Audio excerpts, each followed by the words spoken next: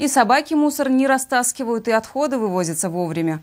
В одном из сел Мариинско-Посадского района обустроили 12 контейнерных площадок по программе инициативного бюджетирования.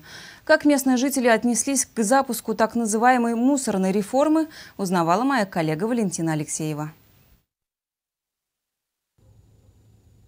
Село Октябрьское – положительный пример того, как реформа должна работать на самом деле. И все это благодаря местному главе поселения, а также жителям.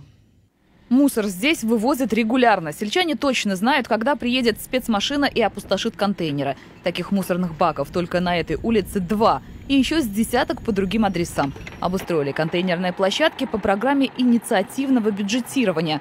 Согласовали места размещения с учетом норм и правил, обсудили с местными жителями инициативное бюджетирование, значит, процент, значит, 20% собирает население, 20% от местного бюджета и 60% из республиканского бюджета. Вот именно на контейнер площадке у нас ушло 167 тысяч рублей. Так как Октябрьское сельское поселение не маленькое, здесь живут около полутора тысяч человек, каждая семья в среднем вложила по 100 рублей. Сумма посильная. Глава поселения уверен, с людьми нужно работать и все разъяснять, тогда и недовольства не возникнет. А когда началась так называемая мусорная реформа, перевозчик просто установил недостающие контейнеры. Теперь сельчане хотели бы оборудовать и места для раздельного сбора отходов. Все скидывались, получается, сами? Да, согласованно.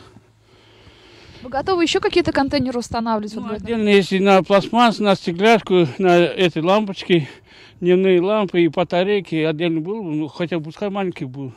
Мусорные контейнеры в селе установлены по всем правилам на забетонированной поверхности со съездом. Вокруг ограждения. Крышка контейнера закрыта, чтобы ни животные, ни птицы не растаскивали отходы. В Минприроды Чувашии говорят, такими контейнерные площадки должны быть по всей республике.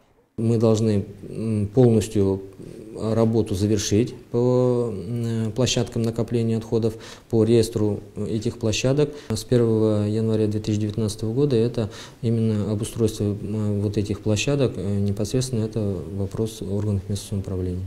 В Октябрьском же сельском поселении уже оформляют другие проекты благоустройства, чтобы Малая Родина была не только чистой, но и максимально комфортной для проживания. Валентина Алексеева, Владимир Синдеев, Вести Чувашия.